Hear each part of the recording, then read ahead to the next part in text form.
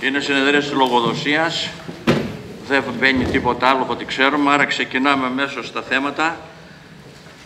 Το πρώτο θέμα είναι μια ερώτηση από τον κύριο Μανούσο, το Παράσχο. Στον κύριο Βάλισεν, τον πρόεδρο της ΔΕΙΑΡ.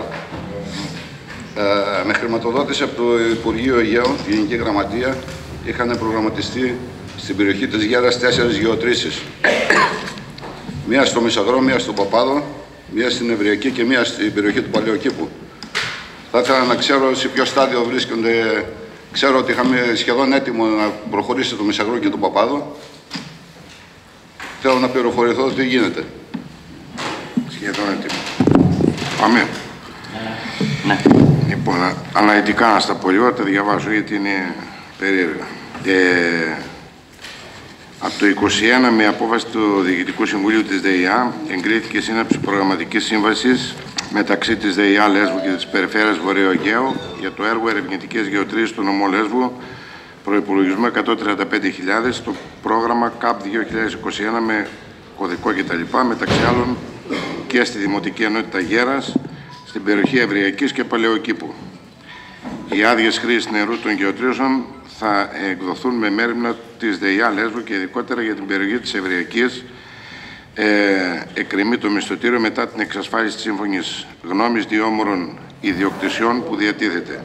Για τον Παλαιόκηπο υπάρχει σύμφωνη γνώμη ιδιοκτήτη και εκκρεμεί η σύνθεση του μισθωτηρίου. Ε, θα πω και πιο αναλυτικά.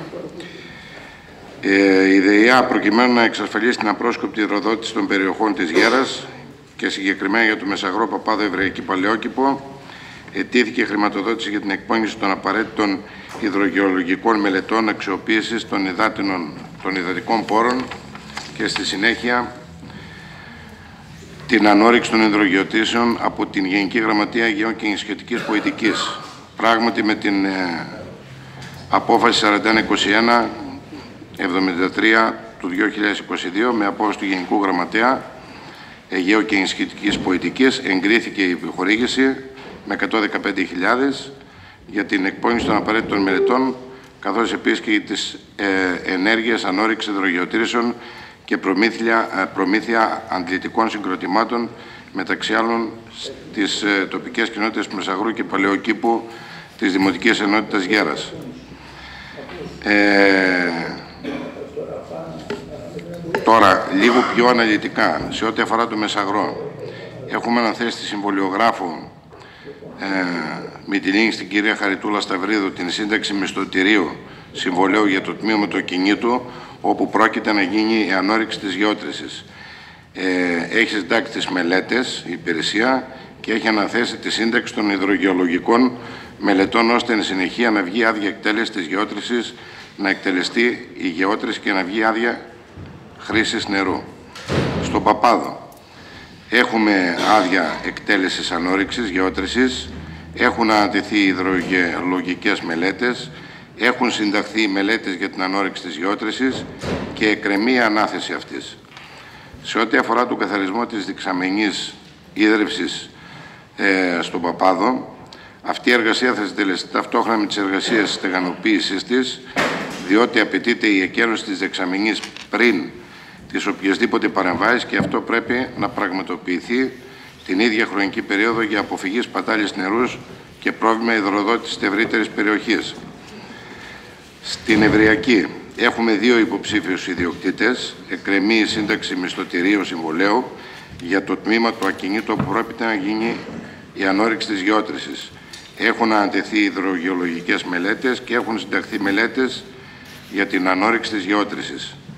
Και στον Παλαιόκηπο, ε, επειδή υπάρχει μια τελευταία στιγμής, ε, ήταν για να γίνει στο κτήμα, σε ένα συγκεκριμένο κτήμα το οποίο τυχαίνει να είναι του στρατή του Καραβασίλη και από μια κουβέντα που κάναμε σήμερα ε, θα πάρει μια απόφαση του τοπικού συμβουλίου ε, της κοινότητας για να γίνει στο χώρο του, του γηπέδου.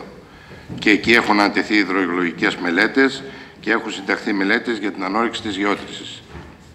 Μια παράσταση στο Μισαγρό δεν έχει εκδοθεί άδεια; Αν έχει, Εκδοθεί η άδεια; ναι. Δεν έχει; Το παπάδο έχει εκδοθεί, το Μεσαγρό δεν έχει εκδοθεί άδεια, είναι σίγουρο; Στο, στο Μεσαγρό Ναι, η άδεια; έχει ανατεθεί στον... ε, Ναι, έχει ανατεθεί. Αν έχει εκδοθεί. Νομίζω ότι έχει εκδοθεί η άδεια. Είναι έτοιμη η άδεια. Μπορεί να μένει μόνο το συμφωνητικό με τον ιδιοκτήτη. Άδεια νομίζω ότι έχει εκδοθεί. στον κύριο, στον κύριο Δάλα. Όχι, όχι. Όχι να την εκτέλεση του έργου. Να βγει η άδεια. Η άδεια της Νομίζω ότι έχει τελειώσει τα χαρτιά. Ναι. Ναι, νομίζω ότι γιατί είπες ότι είναι σε... Για τη δεξαμενή του Παπάδο θα ήθελα να σε πληροφορήσω κύριε Πρόεδρε ότι πέρυσι το καλοκαίρι το βρήκαμε το πρόβλημα. Συζητώντας με τον κύριο Φιντανή, ο οποίος έχει πρόβλημα, σοβαρό άνθρωπος, δεν τον κοβιδιάζουμε τώρα, μας είχε πει να ξεκινήσουμε τον Ιανουάριο με Φεβρουάριο λόγω της εποχής, επειδή το καλοκαίρι θα έχουμε πρόβλημα πάλι με την υδροδότηση όταν σταματήσουμε.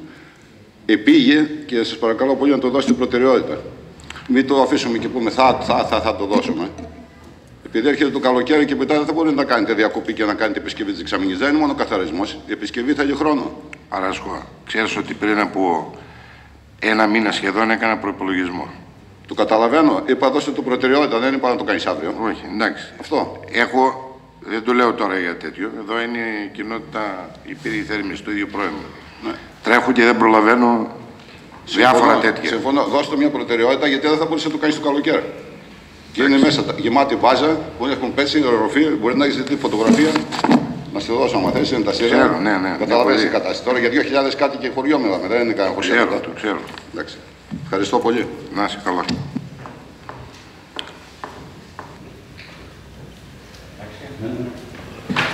Α, Προχωράμε στο δεύτερο θέμα.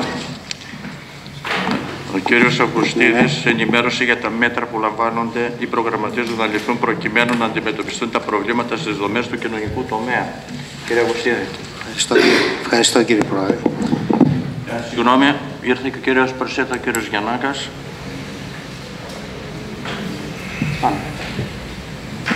Αγαπητές συναδέλφες και συνάδελφοι, καλησπέρα και από μένα. Οι δομές κοινωνικής πρόνοιας στο Δήμο μας αντιμετωπίζουν σοβαρά προβλήματα και έλλειψεις. Σημαντικές κοινωνικές δομές στον τομέα της αντιμετώπισης της φτώχειας που αφορούν στην παροχή υπηρεσιών υγείας και κάλυπταν πολύ μεγάλο αριθμό ανασφάλιστων και άπορων συμπολιτών μας δεν λειτουργούν. Το κοινωνικό φαρμακείο, το κοινωνικό ιατρείο και το οδοντιατρείο σαν κοινωνικές δομές δεν υφίστανται. Προβλήματα λειτουργίας, κυρίως λόγω έλλειψης προσωπικού και επάρκειας χώρων, παρουσιάζονται και στις δομές παροχής βασικών αγαθών, κοινωνικό παντοπολείο, διανομή ρουχισμού. Η υποστελέχωση σε, εκπαιδευτικ- σε εκπαιδευτικό και βοηθητικό προσωπικό λόγω μη αναπλήρωσης του μόνιμου προσωπικού που συνταξιοδοτείται στους παιδικούς και βρεφικούς σταθμούς του Δήμου, σε συνάρτηση με το ανεπαρκές ύψος επιχορήγησης αναβρέφος και νήπιο από το επιδοτούμενο πρόγραμμα, δημιουργούν πρόσθετα προβλήματα για την ομαλή λειτουργία των παιδικών και βρεφικών σταθμών. Παράλληλα, οι υφιστάμενοι δημοτικοί βρεφονιπιακοί σταθμοί μέσα στην πόλη της Μυτιλίνης δεν επαρκούν για να καλύψουν τις αυξημένες ανάγκες των νέων ζευγαριών. Παντελής είναι και η απουσία του Δήμου στον τομέα των ΚΔΑΠ με αποτέλεσμα κέντρα δημιουργικής απασχόλησης παιδιών να λειτουργούν μόνο στον ιδιωτικό τομέα για όσους φυσικά γονείς έχουν την οικονομική δυνατότητα να πληρώσουν τα έξοδα. Ερωτάτε η Δημοτική Αρχή τι μέτρα λαμβάνετε για να αντιμετωπιστούν τα προβλήματα που περιγράψαμε και ποιος ο προγραμματισμός σας για το υπόλοιπο του 2024 στον τομέα αυτών; Ευχαριστώ. Κύριος Παναγός. Κύριε Πρόεδρε, να πάρω το λόγο. Ναι, ναι, και βέβαια. Ευχαριστώ πολύ. Καλησπέρα και από μένα. Κύριε Αυγουστή, θα σας ενημερώσω ότι σαν νέα Δημοτική Αρχή έχουμε και εμείς αυτές τις ευαισθησίες και από την πρώτη μέρα έχουμε δείξει δείγματα γραφής. Δεν είναι μόνο αυτές οι δομές που αναφέρετε. Υπάρχουν, επιγραμματικά θα σας πω, να έχετε μια πλήρη εικόνα για το τι λειτουργεί στο Σύνδεσμο Κοινωνικής Προστασίας και Αλληλεγγύης στο Δίο Δήμου. Υπάρχουν τα ΚΑΠΗ, τα Κέντρα Κοινωνική Προστασίας Ηλικιωμένων, τα οποία από την πρώτη μέρα βρισκόμαστε σε συνεχή επικοινωνία με την ε, κοινωνική λειτουργό εκεί. Σχεδιάζουμε δράσεις, τους ενθαρρύνουμε, τους υποστηρίζουμε. Ήδη πήγε η αστυνομία, τους μιλήσει για τηλεφωνικές απάτες. Κάνουμε δράσεις με γιατρούς. Ε, την προηγούμενη εβδομάδα τους μιλήσαμε με το ψηφιακό γραμματισμό μαζί με το Σπερινό Γυμνάσιο. Υπάρχουν κενά, έχουμε φυσιοθεραπευτήριο, ζητήσαμε ήδη φυσιοθεραπευτή, αλλά λόγω της κινητικότητας και λόγω της ημερομηνίας λήξης του συνδέσμου δεν έχουμε κάποια ανταπόκριση. Αλλά είμαστε κοντά ώστε να πάρουμε φυσιοθεραπευτή και να λειτουργήσει και ο χώρος του φυσιοθεραπευτηρίου. Άλλη μια δομή που υπάρχει και ίσως δεν τη γνωρίζετε, δεν την αναφέρεται, είναι η σύντηση απόρων. Αυτή τη στιγμή ο σύνδεσμός μας παρέχει 100 μερίδες φαγητός σε καθημερινή βάση σε ευάλωτες ομάδες και σε οικογένειες με παιδιά. Αυτό γίνεται μέσα από το σύνδεσμο τη Αγία Ειρήνης 10. Υπάρχει το κοινωνικό φροντιστήριο, που και αυτό παρέχει μεγάλη βοήθεια στις οικονομικά συνέστες ομάδες. Φέτος καταφέραμε να λειτουργούν δύο φιλολογικά τμήματα, ένα τμήμα των Αγγλικών και ένα τμήμα της φυσικής. Επίσης, στην αίθουσα αυτή του κοινωνικού φροντιστηρίου, ο σύνδεσμος την έχει παραχωρήσει και στους εθελοντές ομοδότες, οι οποίοι εμείς καλύπτουμε όλα τα λειτουργίες έξοδα και ενίκαιο και το νερό και το ρεύμα τους. Όσον αφορά για το κοινωνικό φαρμακείο, το κοινωνικό φαρμακείο έχετε δίκιο, δεν λειτουργούσε. Δεν ξέρω για ποιο λόγο δεν λειτουργούσε. Το κοινωνικό φαρμακείο άμεσα μαζί με τους συνεργάτες μου και την υπηρεσία έχουμε στείλει στον ΑΣΕΠ έγκριση από τις 10 Τετάρτου και περιμένουμε να μας στείλει ώστε να προσλάβουμε και φαρμακοποιό και κοινωνικό λειτουργό ώστε να μπει σε λειτουργία. Αν θέλετε μπορώ να σου καταθέσω το ίδιο. Το κοινωνικό ιατρείο. 18 πρώτο ανέλαβα, 20 πρώτο μίλησα με τον πρόεδρο, τον κύριο Προβέντζα, τι μπορούμε να κάνουμε σαν ιατρικό σύλλογος, ώστε και αυτό να μπει σε λειτουργία. Είμαστε σε πολύ καλή, σε πολύ καλή δρόμο. Ο κ. Προβάτης μάλιστα έκανε και την πρόταση να το κάνουμε και πιο, να το πλατιάσουμε, να το κάνουμε δημοτικό ιατρείο. Τρέχουν κάποια προγράμματα μέσω ΠΕΠ και εκεί και αυτό πιστεύω θα λειτουργήσει και αυτό. Το κοινωνικό δεντεατρίο. Έχουμε τον εξοπλισμό, δεν λειτουργούσε. Περιμένουμε την πιστοποίηση όσον αφορά από, από το νοσοκομείο να δούμε αν λειτουργεί αυτό το όργανο, το μηχάνημα. Ήδη έχουμε μιλήσει με τον πρόεδρο του Διοντρικού Συλλόγου, τον κύριο Βογιατζή. Έχουμε ραντεβού να έρθουν και αυτοί να δουν το χώρο και πώς μπορούν να μας βοηθήσουν θελοντικά, γιατί όλες αυτές οι δράσεις γίνονται με θελοντισμό. Δεν έχουμε τη δυνατότητα να πληρώνουμε ούτε το διατρό ούτε γιατρό. Το, κοινο, το κοινωνικό παντοπολείο που αναφέρεται, δεν ξέρω, έχετε έρθει, έχετε επισκεφτεί το χώρο του κοινωνικού παντοπολείου. Μιλάτε για ανεπαρκή χώρο. Να σας πω, το κοινωνικό, το κοινωνικό μας παντοπολείο. Τα στοιχεία που χρησιμοποίησα ναι. είναι από δικά σας έγγραφα, δεν, είναι, δεν αφορούν ναι. Το κοινωνικό παντοπολείο έχουμε αλλάξει τώρα την αίθουσα, την έχουμε μεγαλώσει με διαρρύθμιση. Έχουμε κάνει μέσα αντέξεων ράφια, έχουμε είναι γύρω στα 60-70 τετραγωνικά και είναι επαρκές ο χώρος. Και σήμερα, μάλιστα, κάναμε τη διανομή σε 120 οικογένειες. Καθημερινά έρχονται μία φορά το μήνα και δίνουμε ήδη παντεπολίου σε 120 οικογένειες με ισοδηματικά αυστηρά κριτήρια. Και ο χώρος αυτός επαρκεί, έτσι όπως τον έχω δει εγώ. Είναι σε ένα μεγάλο μίνι μάρκετ. Η δημοτική ματιοθήκη λειτουργεί κανονικά, έχουμε το προσωπικό μας ε, σε ένα ξεχωριστό χώρο. Έχουμε και εκεί μέσα το διαρρυθμίσει όλο το χώρο, τον έχουμε βάλει σε τάξη τα χειμερινά, τα καλοκαιρινά. Μας φέρνουν πάρα πολύ υλικό οι συμπολίτες μας. Αυτό αξιολογείται, διότι προσπαθούμε να δίνουμε το καλύτερο δυνατό σε αυτόν που θέλει να τα πάρετε. Τρίπια, παλιά ρούχα κτλ. Τα φθαρμένα τα πετάμε. Και μπορείτε να έρθετε και εσείς μια μέρα, όποτε θέλετε, να το επισκεφτούμε μαζί, να τα δείτε και εδώ είμαστε, να μας πείτε ακριβώς τι και λύσεις. Στους παιδικούς μας σταθμούς τώρα που λέτε. Οι παιδικοί μου σταθμοί τι να πω για τους παιδικούς σταθμούς, είμαι ιδιαίτερα ικανοποιημένος για τη λειτουργία τους. Από την πρώτη στιγμή έχω έρθει σε επαφή με όλους τους παιδικούς σταθμούς στο Δήμο μας. Τους έχω επισκεφτεί όλους. Είναι της Αγιά σου μόνο που δεν έχω πάει, δεν πρόλαβα να πάω. Στο Δήμο μας έχουμε 12 παιδικούς σταθμούς. Με αυτές έχουμε 294 νήπια και 65 βρέφη. Από τους 12, ο ένας σταθμός είναι βρεφικός, καθαρά είναι το Μαρία Μπατζή την οποία είχαμε την τύχη να τον εγκαινιάσουμε και τον κάνουμε αγιασμό τις προηγούμενες μέρες, ο οποίος αυτό το έργο είχε προχωρήσει από την προηγούμενη Δημοτική Αρχή, είχε σταματήσει, πιέσαμε τον εργολάβο σε συνεργασία με την τεχνική μας υπηρεσία και με τον Δήμαρχο, τον ολοκληρώσαμε, επενδύ, κάναμε και κάποιες απαραίτητες πρόγραμμα ένα κλιματιστικό, φτιάξαμε την κουζίνα, τους χώρους όλους και τον παραδώσαμε στα βρέφη. Επίσης υπάρχουν και άλλοι έχουμε και τρεις βρεφονιπιακούς σταθμούς. Είναι ο πρώτος, ο τέταρτος και της Μόριας. Τα οποία δέχονται και βρέφη και παιδιά από 2,5 χρονών και πάνω, μέχρι το Παναπανηνύπιο. Στον τέταρτο ήδη έχουμε ξεκινήσει εργασίες της προσαρμογής. Ο τέταρτος είναι στο, στο ΙΚΑΚΙ. Ήδη ξεκινήσαμε τις εργασίες. Στον πρώτο έχουν ήδη ολοκληρωθεί και δουλεύει ε, και όσον αφορά εκεί υπάρχει μια συστέγαση με το δεύτερο παιδικό σταθμό ο οποίος το στίχημα που έχουμε βάλει σαν νέα δημοτική αρχή, ο δεύτερος να φύγει από εκεί και να κάνουμε ένα νέο παιδικό σταθμό με πόρους του συνδέσμου. Είδαμε σε επαφή και με τον Δήμαρχο και με την τεχνική υπηρεσία να αξιοποιήσουν κάποιο δημοτικό ακίνητο και είμαστε πολύ κοντά με το Κατσάνιο να βρούμε μια λύση εκεί. Ε, στη Μόρια ξεκινάνε εργασίες άμεσα, δηλαδή και τη Μεγάλη Τετάρτη τον επισκεφτούμε τον εργολάβο, ώστε να μπει ο εργολάβος μέσα και να κάνει και αυτό, να ξεκινήσουν εργασίες εκεί. Ε, επίσης, σας ενημερώσω ότι ο Παπάδος, ο Σκόπελος, ο Αγιάσος, τα Πάνθυλα και της Μόριας, που προανέφερα πριν, ήδη έχουν ξεκινήσει οι μελέτες, έχουν βγει σε οι προκηρύξεις, διακηρύξεις, συνολικού προπολογισμού 809.000 ευρώ. Αυτό έγινε στο διάστημα αυτό που αναλάβαμε από 18 πρώτου μέχρι και σήμερα.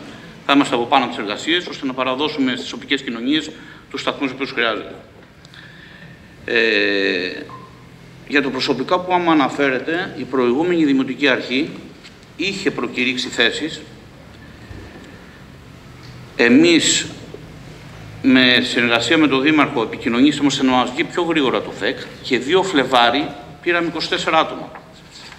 2 Φλεβάρι 24 άτομα, τα οποία οι 6 είναι παιδαγωγών πρώιμης παιδικής ηλικίας, οι 6 είναι βρεφονιδιοκόμοι και 12 είναι προσωπικό καθαριότητας.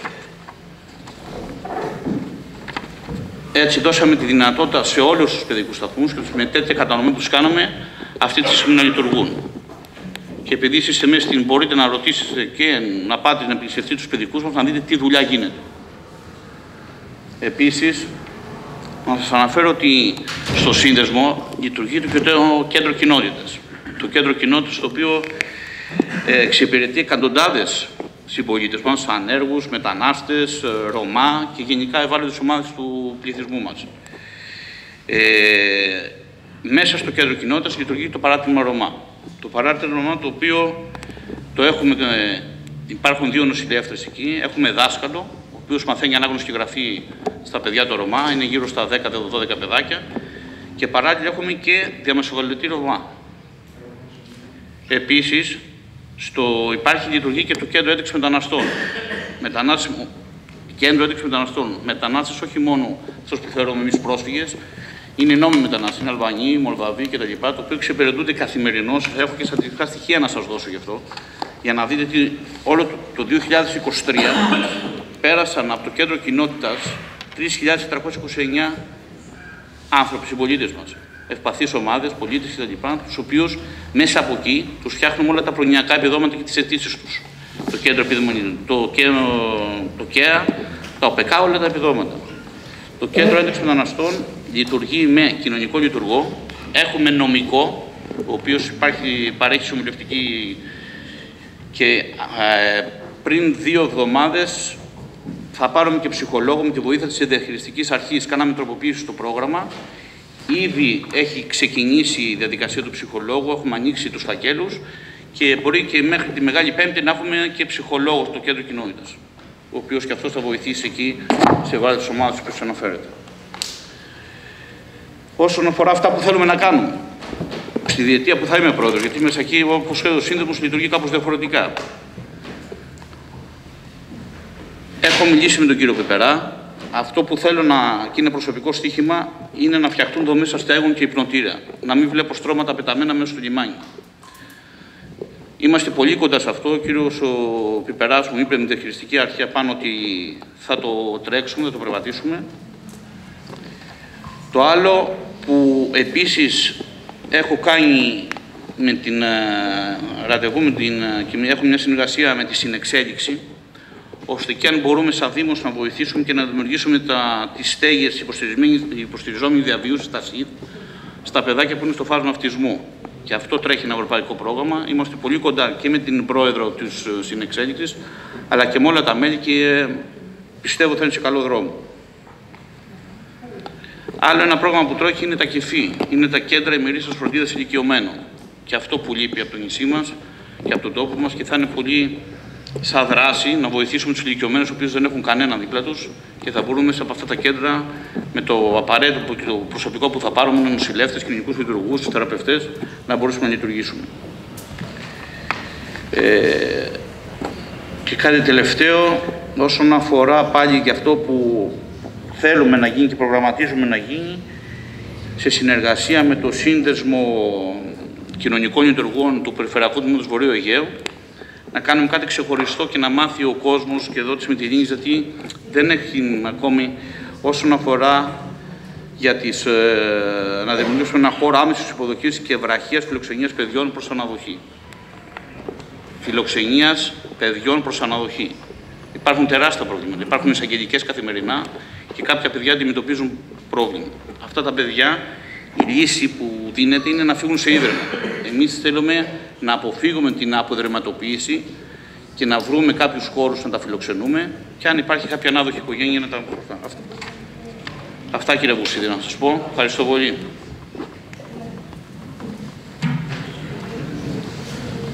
Κύριε Βουσίδη, εντάξει. Άρα προχωράμε. Πάμε παρακάτω στο τρίτο θέμα. Συζήτηση αναφορικά με το όραμα της νέας Δημοτικής Αρχής και ποιες ενέργειες και έργα θα ακολουθήσουν προκειμένου να υλοποιηθεί. Κύριε Κουφέλο. Κύριε, κύριε Πρόεδρε, συνάδελφοι, αγαπητοί συνάδελφοι, καλησπέρα για μένα. Εγώ αυτό που θα ήθελα να ρωτήσω, το έχω ρωτήσει κατ' επανάληψη βέβαια, αλλά τώρα ίσως ήρθε η ώρα, ε, τον κύριο Χριστόφα, ε, να μας παρουσιάσει λιγάκι, να μας πει κάποια πράγματα για το δικό του όραμα, για το όραμα της δικιάς του παρατάξεως, γιατί εννοώ μέχρι στιγμής ό,τι παρουσιάζεται ή τέλος πάντων ό,τι προβάλλεται είναι αυτά που τα έργα τα οποία παραλάβατε ή τέλος πάντων αποπερα... αποπερατώσατε από την προηγούμενη Δημοτική Αρχή. Και τι αναφέρουμε, παραδείγματος χάρη θα πω ένα ε, που είναι οι κάδοι απορριμμάτων οι οποίοι είχαν προμηθευτεί από την προηγούμενη Δημοτική Αρχή, αυτοκίνητα, μηχανήματα, παιδική σταθμή, ε, παιδικές κατασκηνώσεις και ό,τι άλλο που μπορεί να υπάρχουν. Αλλά όλα αυτά, όπως ε, έχω πει και προείπα δηλαδή, είναι όλα της προηγούμενης Δημοτικής Αρχής. Η είναι συνέχεια προηγούμενων Δημοτικών Αρχών, οι οποίοι έχουν καταλήξει και ήδη παραλάβει. Θα θέλαμε αν μπορείτε να μας πείτε το δικό σας όραμα και ποια συγκεκριμένα έργα θα χαρακτηρίσουν εσάς σαν Δημοτική Αρχή. Πάμε κύριε Αγαπητέ Πρόεδρε, νομίζω να μου δώσετε λίγο χρόνο. Ναι, ναι, κύριε. Ωραία. Βλέπετε ότι λοιπόν, δεν θέσαμε Το όραμα της Δημοτικής Αρχής έχει διατυπωθεί με σαφήνεια προεκλογικά σε πέντε λέξεις και ισχύει και τώρα κατά τους μόλις τέσσερις μήνες της θητείας μας. Μιλάει λοιπόν για βιώσιμη λειτουργική πόλη και ζωντανά χωριά. Είναι ένα όραμα το οποίο υπηρετώ ως δήμαρχος, υπηρετούμε ως δημοτική αρχή, γιατί πολύ απλά πιστεύω ακράδαντα πως αυτό το όραμα θα έπρεπε να το υπηρετεί οποιοδήποτε βρισκόταν σε αυτή τη θέση σήμερα. Η υλοποίηση λοιπόν αυτού του οράματος περνάει μέσα από τις 80 προγραμματικές μας θέσεις οι οποίες με σαφήνεια διατυπώθηκαν ένα χρόνο πριν τι αυτοδιοικητικές εκλογές, με μακρά διαβούλευση, διαδικτυακά, επισκέψεις σε κάθε γειτονιά της πόλης, σε κάθε χωριό, δύο και τρεις φορές σε όλη την έκταση του Δήμου. Αυτά είναι γνωστά της πάση βέβαια και φυσικά ο καθένας έχει κάθε δικαίωμα να μην συμφωνεί με το όραμα και τις προτάσεις μας, δεν μπορεί όμως να αμφισβητεί την ύπαρξή τους. Ας δούμε λοιπόν τις ενέργειές μας από το ξεκίνημα αυτής της θητείας σε λιγότερο από τέσσερις μήνες όπως προείπα 83 εργάσιμες μέρες μαζί με τη σημερινή. Μιλάμε για μια βιώσιμη και λειτουργική πόλη και τι κάνουμε λοιπόν; Ξεκινήσαμε από το να θέσουμε σε ανώτερο επίπεδο ζητήματα για τα οποία είναι απαραίτητη η συνδρομή ή η παρέμβαση υπηρεσιών της κεντρικής διοίκησης και της κυβέρνησης όχι απλά σε ανώτερο, αλλά σε ανώτατο επίπεδο, με σχετικό υπόμνημα προς τον Πρωθυπουργό, Κυριάκο Μητσοτάκη, το οποίο συζητήθηκε αναλυτικά μαζί του κατά τη διάρκεια σύσκεψης στο Δημαρχείο, αλλά του παραδόθηκε και ιδιοχείρος σε φάκελο με αναλυτικότατα στοιχεία, πληροφορίες, μελέτες και τα έργα. Τέθηκαν ζητήματα, δεν θα μακρηγορήσω πρόεδρε, να αναφερθώ συνοπτικά, μεταξύ άλλων όπως η αναγκαιότητα κατασκευής της νότιας παράκαμψης πόλης Μυτιλίνης, η παραχώρηση του χώρου του εμπορικού λιμένα Μυτιλίνης από την ΕΤΑΔ, η αύξηση χρηματοδότησης για την κατασκευή του νέου κολυμβητηρίου στα Θέρμα, η κατασκευή των δικτύων αποχέτευσης των νοτιόχωρων της πόλης Μυτιλίνης. Μελετήσαμε το σχέδιο της βιώσιμης αστικής ανάπτυξης της Μυτιλίνης, το οποίο προέκυψε μετά μέσα από μια σειρά διαβουλεύσεων της προηγούμενης Δημοτικής Αρχής. Το συζητήσαμε ξανά με εμπλεκόμενους φορείς, βάλαμε τις δικές μας προτεραιότητες και μετά από την έγκρισή του από την Περιφέρεια Βορείου Αιγαίου στις αρχές του έτους, ξεκινάμε άμεσα την υλοποίηση για να μην χαθεί άλλος πολύτιμος χρόνος, ενώ παράλληλα έχουμε στραμμένο το βλέμμα μας στο 2025, στο τέλος του, όπου μας δίνεται η δυνατότητα από τον κανονισμό της Ευρωπαϊκής Ένωσης να κάνουμε τις όποιες προσαρμογές. Ταυτόχρονα ενεργοποιήσαμε την αστική αρχή, η οποία συνεδρίασε για πρώτη φορά αυτό το διάστημα, ενώ επίκειται σύντομα και μια ακόμα συνεδρίασή της πριν το καλοκαίρι, παρά τη συμβατική υποχρέωση των μόνο δύο συναντήσεων ανά έτος, μία ανά εξάμεινο. Αναφερόμαστε σε ένα σχέδιο προϋπολογισμού άνω των 57 εκατομμυρίων ευρώ, η υλοποίηση το οποίο αποτελεί ένα μεγάλο στίχημα για μας, καθώς θα αλλάξει την πόλη μας για τα επόμενα χρόνια. Πέρα του σχεδίου βιώσιμης αστικής ανάπτυξης, το οποίο θα παρουσιαστεί σε ξεχωριστή συνεδρίαση του Δημοτικού Συμβουλίου αμέσως μετά το Πάσχα, έχουμε προχωρήσει συνολικά σε αυτό το μικρό διάστημα και μάλιστα από τις αρχές Μαρτίου έχουμε τη δυνατότητα, γιατί όλοι γνωρίζετε ότι ο προϋπολογισμός στην ουσία άρχισε να εφαρμόζεται από αρχές Μαρτίου, μιλάμε για λιγότερο από δύο μήνες, στη δημοπράτηση 11 έργων συνολικού προϋπολογισμού 2.100.000 περίπου ευρώ, στη συμβασιοποίηση 6 έργων συνολικού προϋπολογισμού 1.200.000 ευρώ και στην υποβολή νέων προτάσεων προς χρηματοδότηση 8 έργων συνολικού προϋπολογισμού 10.568.000 ευρώ. Σε αυτά προφανώς αναφέρομαι μόνο στη δουλειά της τεχνικής υπηρεσίας και της διεύθυνσης του προγραμματισμού. Δεν αναφέρομαι σε άλλα που έχει κάνει η διεύθυνση του Πρασίνου, η πολιτική προστασία, τα νομικά μας πρόσωπα όπως η ΔΕΙΑΛ, το Λιμενικό Ταμείο και τα υπόλοιπα. Έχουμε πέσει πάνω από τα έργα τα οποία δυστυχώς υλοποιούνταν ορισμένα από αυτά με αργούς ρυθμούς ή ακόμα χειρότερα είχαν βαλτώσει και προσπαθούμε να τα ξεμπλοκάρουμε. Είτε αυτό σημαίνει να προχωρήσει η συμβασιοποίηση, είτε να ενταχθούν σε κάποιο χρηματοδοτικό πρόγραμμα, καθώς προηγούμενες εξασφαλισμένες χρηματοδοτήσεις χάθηκαν. Αναφέρω ενδεικτικά η ανάπλαση προκυμαίας Μυτιλίνης, όπου και ο τελευταίος κάτοικος της πόλης και ο πιο δύσπιστος αναγνωρίζει την επιτάχυνση στις διαδικασίες εκτέλεσης του έργου. Το νέο κολυμβητήριο στα Θέρμα, το οποίο προσπαθούμε να αναστήσουμε μετά από μια χαμένη γι' αυτό τετραετία, ενώ παράλληλα εξετάζουμε τα σενάρια αξιοποίησης και του κολυμβητηρίου στο λιμάνι της πόλης, όπως έχω απαντήσει και σχετική ερώτηση σε προηγούμενο Δημοτικό Συμβούλιο.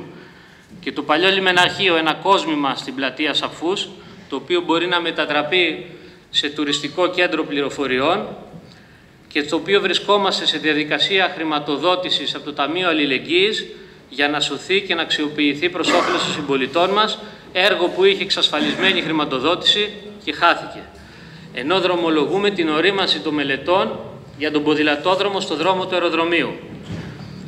Προχωρήσαμε σε πρωτοβουλίες όπως την προεκλογική μας δέσμευση για την πεζοδρόμηση του ιστορικού κέντρου και της οδό Ερμού, βασισμένη σε μελέτη και διαβούλευση με κάθε εμπλεκόμενο φορέα, η οποία ωστόσο βγάζει τη Μυτιλίνη από τη λίστα των ευρωπαϊκών πόλεων, αν υπάρχουν. Αυτές που δεν έχουν ούτε ένα πεζόδρομο, χάρη στις ψήφους της Δημοτικής Αρχής, θυμίζω και μόνο.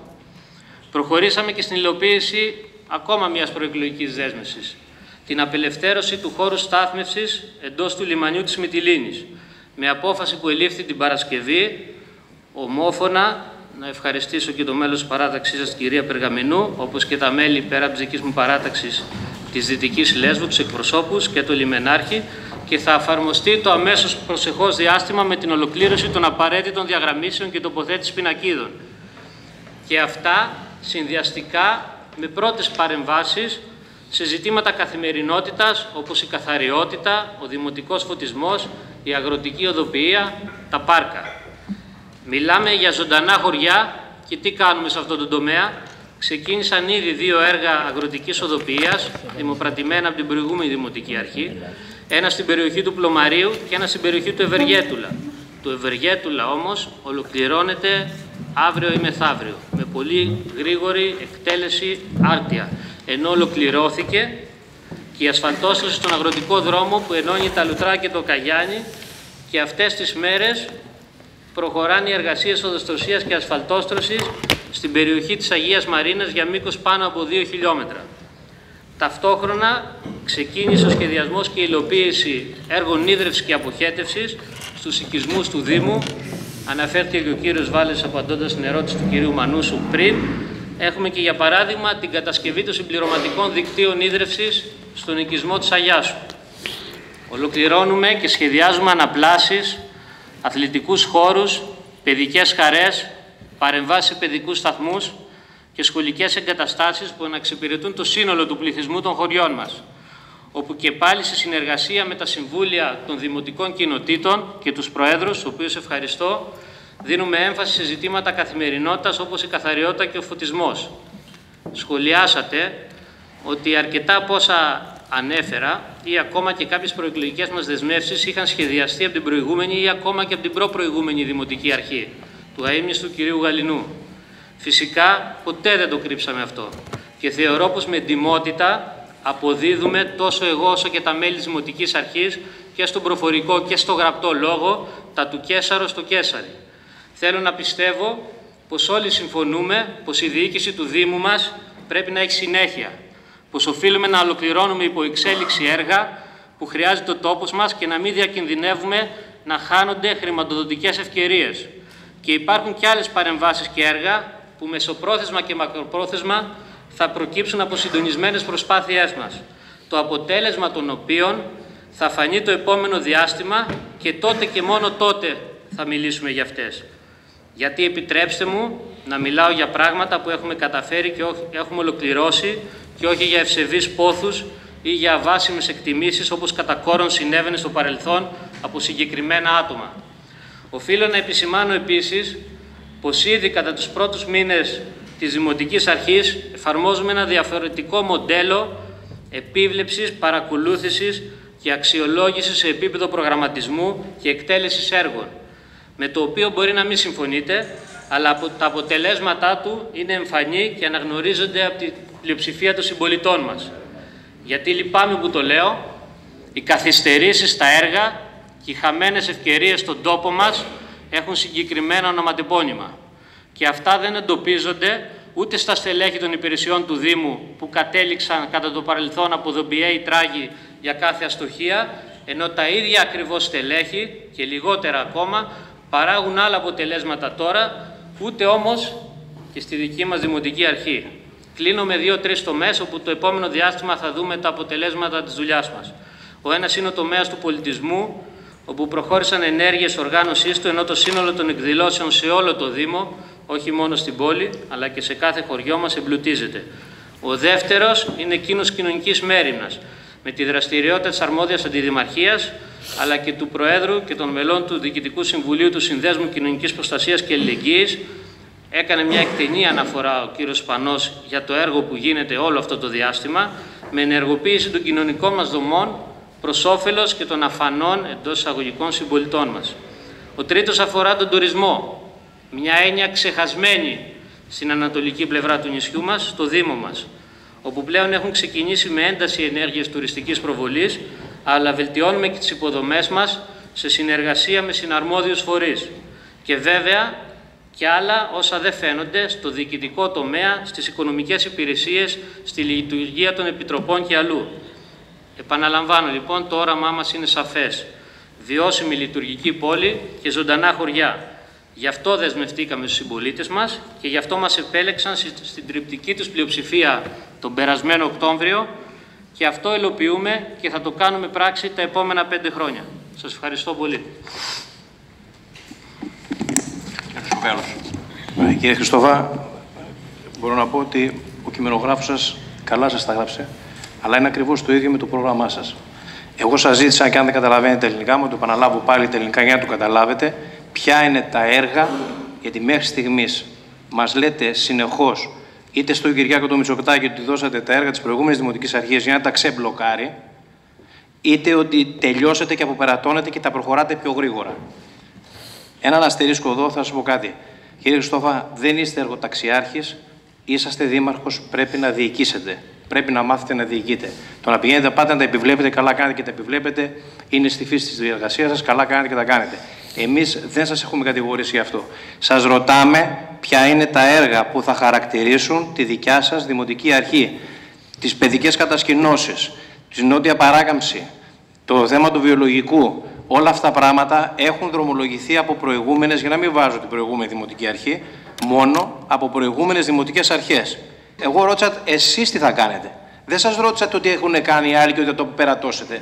Όπως το πρόγραμμά στο προεκλογικό ήταν ένα γερικό και αφηρημένο πρόγραμμα το οποίο δεν έλεγε συγκεκριμένα πράγματα. Μπορώ να σας κάνω, πιστέψτε με, ήμουν πάρα πολύ καλός στην έκθεση, να σας κάνω μια πολύ ωραία έκθεση ιδεών, να σας την καταθέσω, να καθόμαστε να μιλάμε εδώ πέρα πέντε μέρες.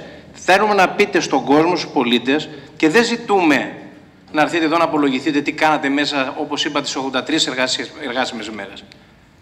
Τι βάλατε σε προτεραιότητα σε, αν, αν αν είχατε έργα τα οποία υπήρχαν και να μην τα προχωράγατε.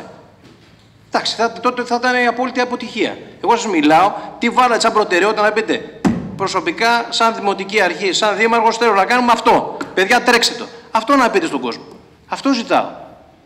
Αυτό είπα. Δεν σας είπα εγώ ότι δεν τα κάνατε αυτά. Βεβαίως. Ε, δεν ήξερα ότι σε αυτή τη δημοκρατική χώρα που έχουμε δημοκρατία από το 1974 και μετά, ένας δήμαρχος δημοκρατικά εκλεγμένος από το 55% των συμπολιτών του, 8 μήνες πριν, θα πρέπει να παίρνει άδεια από τον επικεφαλής αντιπολίτευσης για το πού θα πάει κάθε μέρα και αν θα πάει να επιβλέψει έργα ή χαρακτηρισμούς όπως να κάνει τον ορμοταξιάρχη. Κύριε Πρόεδρε, να σας πω κάτι, επειδή βλέπω ότι υπάρχει έλλειψη επικοινωνίας. Άλλα λέω στον κύριο Χριστόφα, άλλα αντιλαμβάνεται ο κύριος Χριστόφα. Δυστυχώς. Και αν αρχίσουμε σε αυτό το επίπεδο. Όχι, απευθύνουμε σε εσάς, γιατί άμα απευθυνθώ στον κύριο Χριστόφα, θα μαλώσουμε. Αν είναι να αρχίσουμε έτσι να κάνουμε αντεγκλήσει και να λέμε Α, θα δώσω εγώ άδεια. Σας είπα ότι θα δώσετε άδεια. Σας είπα ότι θα δώσετε άδεια. Θα σας δώσω άδεια. Σας είπα εγώ θα σας δώσω εγώ άδεια. Θα μιλήσω εγώ ποτέ ή θα κάνει ό,τι θέλει. Να απαντήσετε.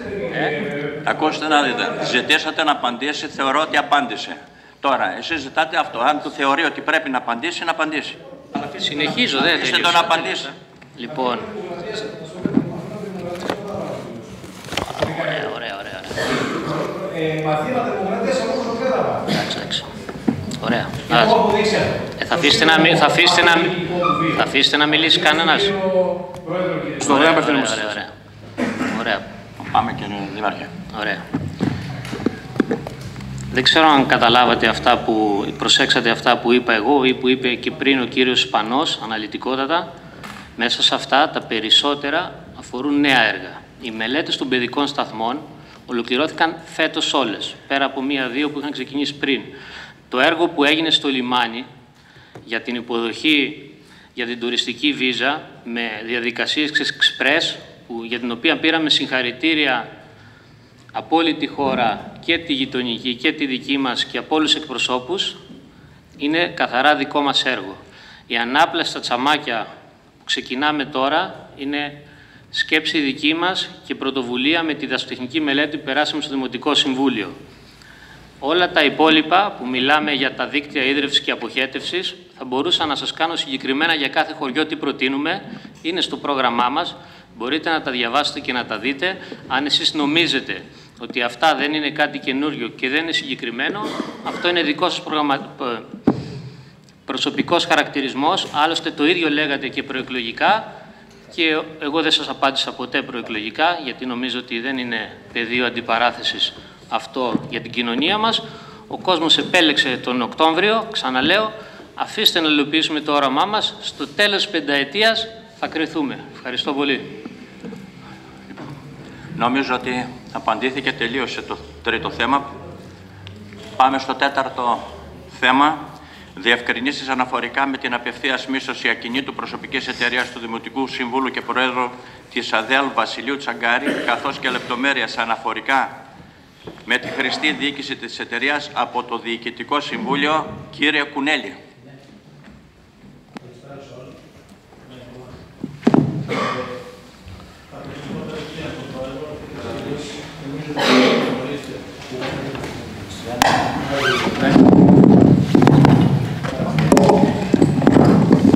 Θέμα είναι γνωστό σε όλους. Ε, θα ξεκινήσω βάζοντας ε, τα δεδομένα που έχουμε από την ε, προηγούμενη συνεδρία της 22 Απριλίου. Ε, τα δεδομένα είναι τα εξής. Έχουμε ε, την πρόθεση του, προ, του κύριου Τσαγκάρη, τέλος πάντων, Προέδρου μετέπειτα, να πουλήσει την επιχείρησή του, την οποία, ε, την οποία διατηρούσε στην παραλία της Θερμής. Το δεύτερο δεδομένο είναι ότι το, το μισθωτήριο, το ιδιωτικό συμφωνητικό μίσθωσης, έλεγε το 2029, όπως είπατε κύριε Τσαγκάρη, σωστά θυμάμαι. Λοιπόν, ε, από το πρακτικό της συνεδρίας 21 Φεβρουαρίου, το οποίο έχω εδώ και θα σας το διαβάσω τη λέξη, ο τότε διευθύνων σύμβουλος της ΑΔΕΛ λέει η μίσθωση ξεκίνησε το 2015. Το 2019 ζήτησες σε εξαετή παράταση για να μπει σε πρόγραμμα που προβλέπεται και δεν μπήκες. Πήρες παράταση 9 χρόνια, δεν ενημέρωσες ότι δεν μπήκες σε πρόγραμμα. Αν δεν υπήρχε η παράταση, το συμφωνητικό θα έλεγε το 2021. Επίσης, σε 10-15 μέρες θα αναλάβεις, γιατί δεν παίρνει εσύ την απόφαση. Στο συγκεκριμένο πρακτικό, απαντάτε εσείς Πήγα να μπω στο πρόγραμμα, έκανα τα χαρτιά, αλλά λόγω το κτίσμα δεν έχει τις προϋποθέσεις, με πέταξαν έξω. Δεν θεώρησα ότι έπρεπε να ενημερωθεί η ΑΔΕΛΑΕ, δεν με φώναξε κανείς. Δεν το θεωρώ ηθικό μια υπόθεση που αφορά εμένα να πάρθει όταν αναλάβω αυτό το πόστο, γι' αυτό το παλεύω από τον Οκτώβρη. Κάποιοι καλοθελητές θα πούνε ότι ακόμα δεν ανέλαβα και κάνω κουμάντα για τον εαυτό μου. Λοιπόν, συνεπώς λοιπόν, έχοντας αυτά τα δεδομένα, γεννάται η εξής απορία. Πώς ήσασταν τόσο σίγουρος ότι μπορείτε να πουλήσετε την επιχείρησή σας σε ιδιώτη ενώ δεν είχατε εξασφαλίσει την έγκριση από την ΑΔΕΛ και πώς γίνεται να μεταβιβάσετε σε δική σας εταιρεία τη μίσθωση η οποία είχε λήξει από το 21 αφού ουδέποτε μπήκατε σε αναπτυξιακό πρόγραμμα; Συγγνώμη. Δεν έριξε. Αλλά. Ήταν ενεργή μέχρι το 29. Θα απαντήσετε εσείς; Ωραία. Απαντήστε μας λοιπόν. Ωραία. Το, δε, το, το, το, το, επόμενο σκέλος λοιπόν έχει να κάνει με το εξής. Αν είχατε οφειλές προς την ΑΔΕΛ. Απαντήστε σε αυτά και προχωράμε. Είτε εσείς είτε ο κύριο. Όχι, εγώ θα απαντήσω. Κύριε Κουνέλη, ολοκληρώσετε την ερώτηση γιατί απαντήσετε τώρα. Αυτό μου θυμίζει κάτι άλλο. Ξέρω εγώ. Ε, να, ε, τελειώστε αυτά που έχετε να ρωτήσετε και μετά να τοποθετηθείτε. Να, μπορείτε να, δευτερο, να δευτερολογήσετε μετά. Δεν υπάρχει πρόβλημα. Τελειώστε την, το ερω, την ερώτηση να απαντήσουν συνολικά νομίζω. Το υπονοούμενο δεν κατάλαβα. Όχι, όχι, δεν υπάρχει υπονοούμενο. Α, για όνομα του Θεού. Για όνομα του Θεού, δεν υπάρχει υπονοούμενο. Ποιος από τους δύο θα απαντήσει; Όχι, όχι. Εγώ απαντάω. Εντάξει, το ερώτημα τέθηκε. Κύριος Σαγκάρη απαντήσει, φαντάζομαι. Λοιπόν, τα τελευταία 10-15 χρόνια περπατάω καθημερινά και πολλοί από εσάς μπορεί να με βλέπατε και με βλέπετε. Και συνομιλώ με πολλούς συμπολίτες μου. Σε αντίθεση με τον κύριο Κουνέλη, που τις ώρες λειτουργίας των καταστημάτων διασχίζει την ερμό με το μηχανάκι του, γούσο του και καπέλο του. Τη βδομάδα που διανύσαμε όμως, ο κόσμος με σταμάτηγε και μου έλεγε, βλέποντας προφανώς την τηλεόραση, ότι πρέπει να γίνω πιο δυναμικός, πιο εχμηρός και τέτοια και τα άλλα. Τους έλεγα λοιπόν ότι φωνάζουν όσοι δεν έχουν δίκιο και όσοι θέλουν να δημιουργήσουν εντυπώσεις. Αυτά σαν εισαγωγή. Τώρα, ας πάμε στο διατάφτα. Η μίσωση του καταστήματός μου έγινε το 15, όπως λέει ο κύριος Κουνέλης, μετά από τέσσερα χρόνια πραγίας που ήταν κλειστό το μαγαζί. Και ως εκ τούτου η λήξη του, του η μίσωση ήταν ενεργή. Και λίγη το 29 και ως εκ τούτου δεν θα μπορούσε αυθερέτως να λυθεί εκ μέρους μου γεγονός που θα έπρεπε να γνωρίζω συνάδελφος.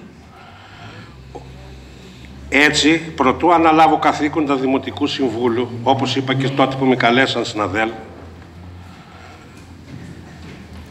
συστήθηκε εταιρεία όπου μεταβίβασα την επιχείρησή μου, μεταβίβασα, δεν πούλησα, γιατί το πούλησα το λέει και το ξαναλέγει ο κύριος Κουνέλης.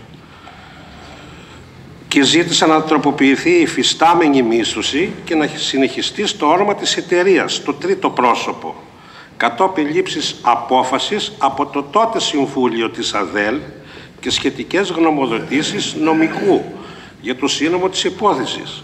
Στη συνέχεια μεταβιβάστηκε η μίσθωση στο όνομα της εταιρείας, στην οποία συμβλήθηκα ως εγγυητής για την τήρηση των όρων της μίσθωσης ως εδώ είναι το ένα σκέλος. Ας πάρουμε και την άλλη υπόθεση ότι λυνόταν η σύμβαση μίσθωσης. Θα ήταν ιδιαίτερα επιζήμιο για την ΑΔΕΛ, αφού θα ήταν εξαιρετικά αμφίβολη η έβρεση μισθωτή και μάλιστα με τα ηχέγγια των παρόντων συνθήκων. Οικονομική κατάσταση, βρες εγγυητή φερέγγιο, ενώ το χρονικό διάστημα που θα μισολαβούσε για την έβρεση δημοπρασίες, εγγυητές, αλλαγή χρήσης, φέρει δικηγόρο, πάνει σε δικηγόρο, πάνει στην πολεοδομία, θα, θα σήμαινε μεγάλη απώλεια εισοδημάτων για την ΑΔΕΛ. Συμπερασματικά, όχι μόνο σύνομη ήταν, αλλά και εξαιρετικά ηθική κίνηση εκ μέρους μου, αφού και διασφάλισε τα συμφέροντα της εταιρείας με τον καλύτερο τρόπο, δεδομένου ότι συμβλήθηκα και εξασφαλίζονται τα ενίκια και όλα αυτά και η ομαλή λειτουργία και της περιοχής. Γιατί μην ξεχνάτε ότι η περιοχή είναι υποβαθμισμένη με την και της Δημοτικής Αρχής και της προηγούμενης και της προπροηγούμενης κακά τα ψέματα. Η Θερμή είναι στον πάτο όλων των δημοτικών ενωτήτων. Από εκεί και, λοιπά, από εκεί και έπειτα λοιπόν κρίνω ότι δεν έσφαλα ούτε λειτουργήσα παράτυπα ή όπως θέλετε πέστε το. Ας το κρίνει ο κόσμος αυτό που μας ακούει.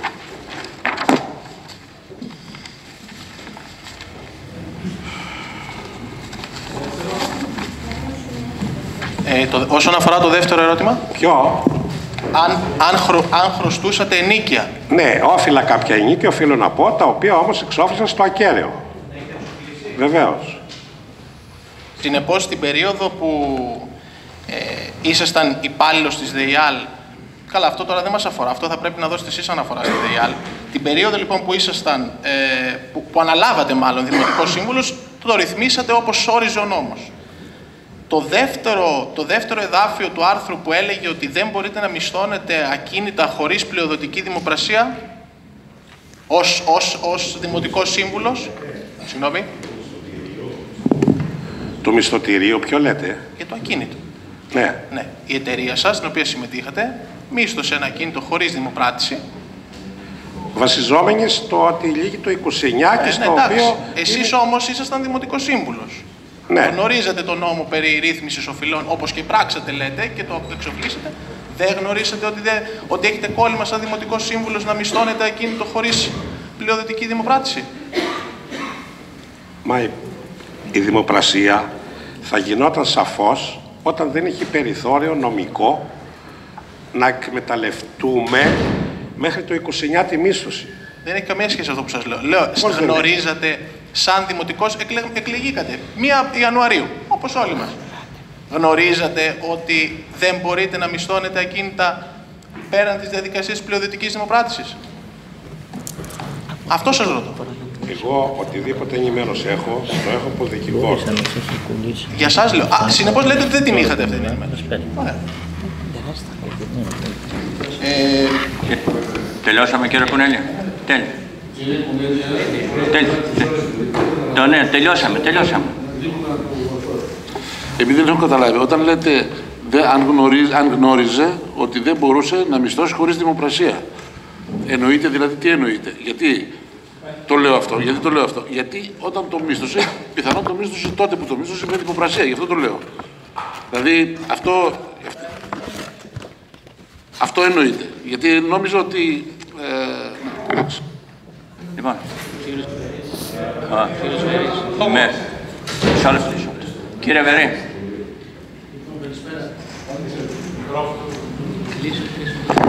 Καλησπέρα.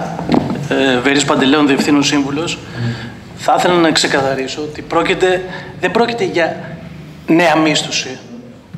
Πρόκειται για υπάρχουσα μίσθωση που ισχύει από το 2015 και λίγη του 29. η ΑΔΕΛ σαν ΑΔΕΛ και εγώ σαν Διευθύνων Σύμβουλος, αυτό που θέλουμε είναι να διασφαλίσουμε τα έσοδα της επιχείρησης. Τα έσοδα της επιχείρησης σε μια μίσθωση στην οποία μπήκε και εγγυητής ο ίδιος ο Τζαγκάρης, καλύπτονται από το ήδη υπάρχον μισθωτήριο. Δεν κάναμε καινούριο μισθωτήριο. Και όπως γνωρίζετε, κάθε επιχείρηση που έχει ένα μίσθωμα μπορεί να συστήνει εταιρείες ή για φορολογικούς σκοπούς ή για άλλους. Και όπως ξέρετε, πλέον οι ατομικές επιχειρήσεις είναι. Ε, μην επικερδίζουμε το τεγμαρτό εισόδημα και πολλοί πάνε στην δημιουργία εταιριών. Δηλαδή, κάποιος, άμα έχει μια μίσθωση σαν ατομική επιχείρηση, δεν θα μπορεί να κάνει εταιρεία για να γλιτώσει τη φορολογία που είναι διαφορετική από μια ατομική επιχείρηση.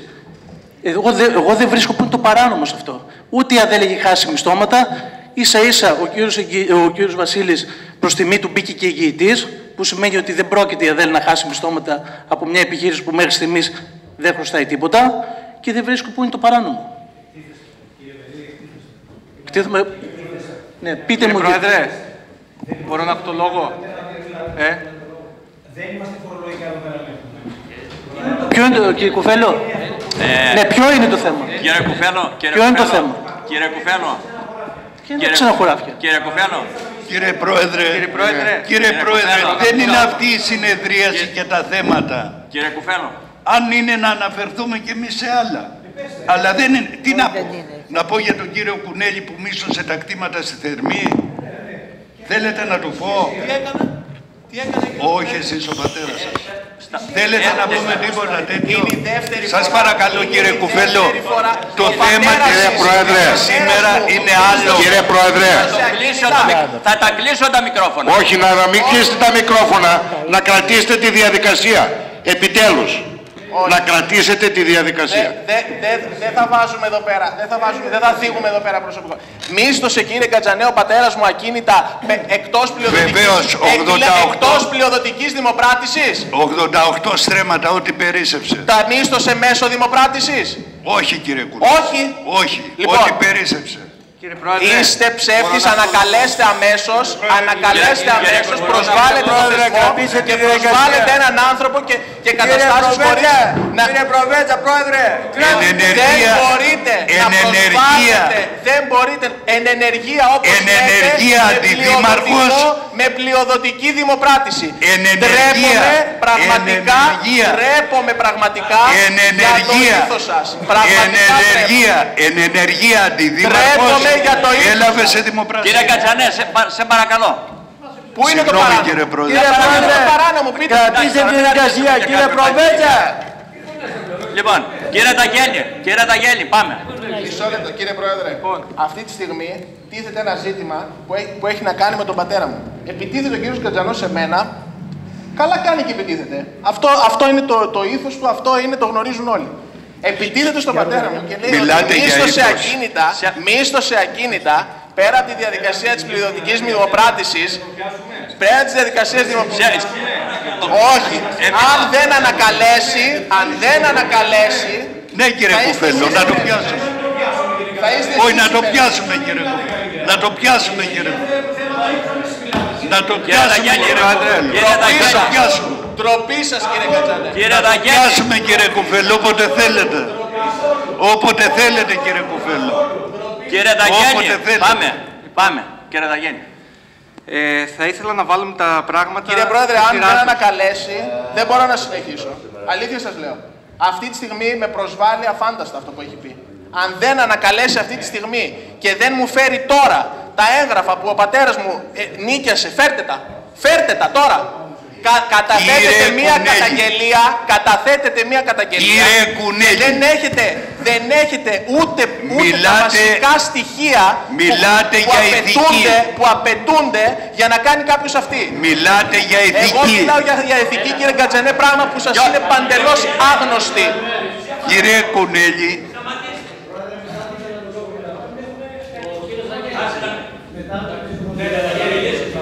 Πάμε κύριε Ταγέλη. Λοιπόν, σχετικά με το θέμα του κύριου Τσαγκάρη, έχουμε τα εξής δεδομένα. Ο κύριος Τσαγκάρης το 2015 από τον τότε Δήμο Λέσβου νίκησε ένα ακίνητο. Εν συνεχεία επισήλθε στα δικαιώματα ο Δήμος, ε, μάλλον η ΑΔΕΛ, γιατί ο Δήμος ε, Λέσβου ε, μεταβίβασε το ακίνητο στην ΑΔΕΛ. Έρχεται το 2019 και ζητάει ο κύριος Τσαγκάρης την παράταση της μίσθωσης έως το 2029. Λοιπόν, ε, επομένως είχαμε μια ενεργή μίσθωση μέχρι το 2029. Στις 27 Εντεκάτου του 23 κάνει αίτημα προς την ΑΔΕΛ και ζητάει ότι ενημερώνει ότι προτίθεται να συστήσει ετερόρυθμη εταιρεία και γι' αυτό το λόγο ε, θέλει να μπει νέος ε, μισθωτής η νέα ετερόρυθμη εταιρεία στην οποία θα είναι ετερόρυθμος εταίρος.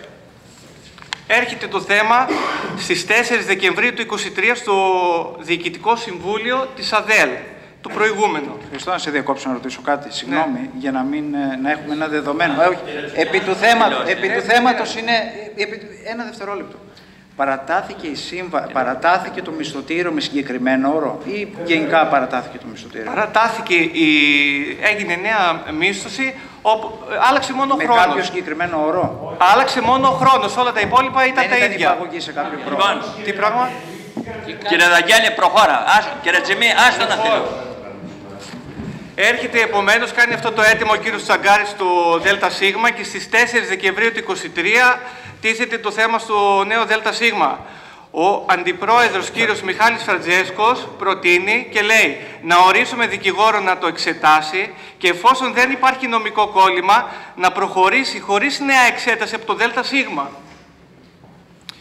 Το μέλος του ΔΣ, κύριος Προκόπιος Σαρής, θεωρεί ότι δεν υπάρχει κόλλημα, διατυπώνει την αγωνία του για το πόσο καιρό θα παραμείνει αναξιοποίητο το ακίνητο σε περίπτωση λύσης της μίσθωσης και συμφωνεί για τον έλεγχο του αιτήματος από δικηγόρο.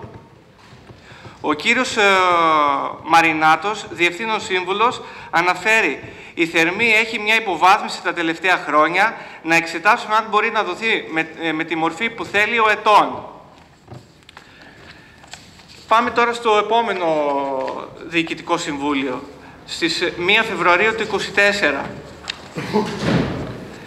Ε, μάλλον, πριν, αναθέτω στον κύριο ε, σε δικηγόρο να κάνει μια γνωμοδότηση, ο οποίος γνωμοδοτεί αυτό το πράγμα ότι η μίσθωση είναι ενεργή μέχρι 13 Αυγούστου του 2029 και γνωμοδοτεί το εξής ότι έτσι όπως είναι δεν γίνεται να παραταθεί η μίσθωση.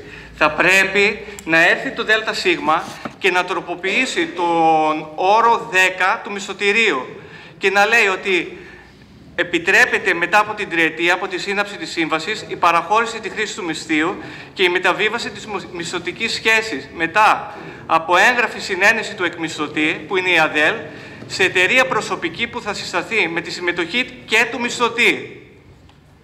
Επιπλέον, είναι δυνατόν με σκοπό τη διασφάλιση τήρησης της σύμβασης και λόγω του γεγονότος ότι επί της ουσίας αλλάζει απόλυτα το πρόσωπο του μισθωτή, στη μισθωτική σύμβαση από τον νέο μισθωτή να προβλεφθεί όρος ώστε για την καταβολή του μισθείου εγγυητής να καταστεί ο κύριος Τσαγκάρης. Υποδεικνύει δηλαδή πώς θα πρέπει να γίνει. Παίρνει απόφαση ε, το στις 21 Φεβρουαρίου του 2024 το Διοικητικό Συμβούλιο, το προηγούμενο της ΑΔΕΛ, κατά πλειοψηφία, αναφέρω την πρόταση του Αντιπρόεδρου, του Αντιπροέδρου της ΑΔΕΛ, κ. Φραντζέσκου Μιχαήλ, ο οποίος εισηγείται βάσει των όσων διάβασε στη συμπληρωματική γνωμοδότηση να προχωρήσουν σε τροποποίηση του, του συμφωνητικού.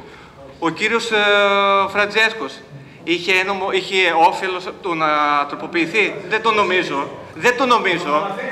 Λοιπόν, ε, Λοιπόν, ο δικηγόρος, ο δικηγόρος, ο δικηγόρος, ο δικηγόρος υπέδειξε τον τρόπο. Το ΔΣ, αφήστε με να μιλήσει. Δεν διέπρεξα κανένα. Αν δεν συμφωνείτε, δικαίωμά σας θα με αντικρούσετε. Θα με αντικρούσετε. Λοιπόν, λοιπόν, ξαναλέω, ξαναλέω ότι ο κύριος Φραντζέσκος εισηγήθηκε να γίνει τροποποίηση. Ο κύριος Μαρινάτος το ίδιο. Γίνεται η ψηφοφορία και τρία μέλη, Μαρινάτος, Σαρής, Φραντζέσκος, ψηφίζουν υπέρ. να γίνει αλλαγή της τροποποίησης του όρου σε ό,τι αφορά το άρθρο 10, προκειμένου να γίνει μεταβίβαση της μισθωτικής σχέσης. Και δύο, στη μισθωτική σύμβαση που θα συναυθεί να μπει εγγυητής ο κύριος Τσαγκάρης. Εναλλακτικά κάποιος φερέγγιος εγγυητής που θα εγκρίνει η ΑΔΕΛ ΑΕ με όλα τα προ- προαπαιτούμενα που προβλέπονται από τον νόμο. Και δύο μέλη, ο κύριος Πατέσος και η κυρία Μιτσέλη, ψήφισαν αρνητικά. Κατόπιν τούτου, αφού είχε ήδη ψηφίσει από το προηγούμενο, έρχεται το νέο, δελ- στις 20 Μαρτίου το νέο ΔΣ του, της ΑΔΕΛ και κάνει πράξη αυτό το πράγμα.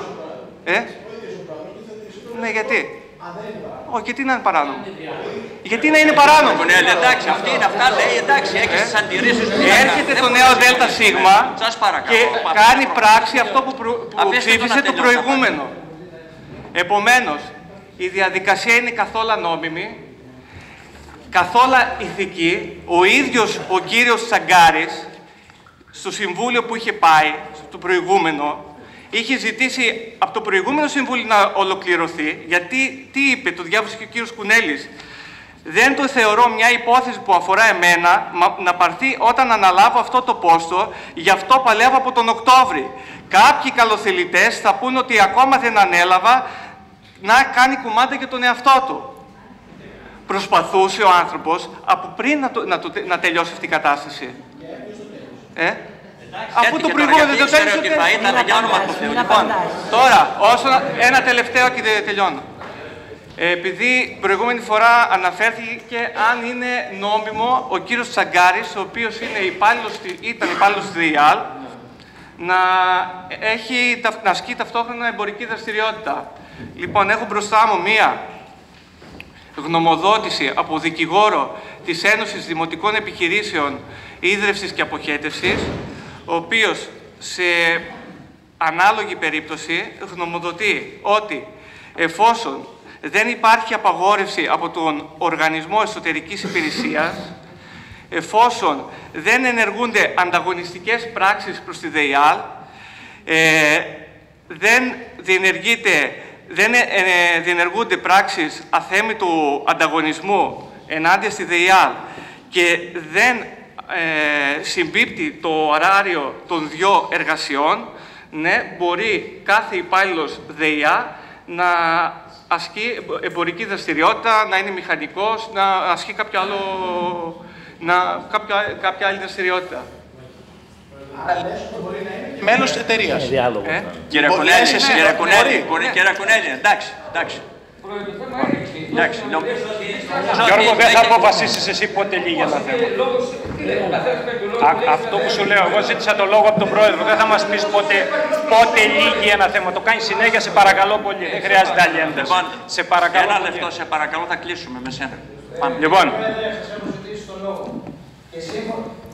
Λοιπόν, μισό Θα το λεπτό. πάρεις, θα το πάρεις. Ωραία. Και σύμφωνα με την εγκύκλιο, και καλό είναι να το βλέπουμε, σύμφωνα με το με αριθμό πρωτοκόλλου 81-82-21 πρώτη 24, μπορούμε στα πλαίσια συζητήσεως του ίδιου θέματος και της ίδιας ερώτησης να απευθυνθούμε.